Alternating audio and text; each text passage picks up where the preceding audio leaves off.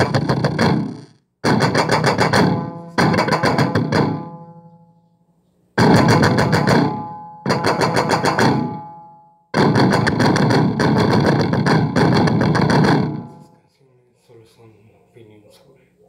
el absurdo de la música y el intento de hacerlo.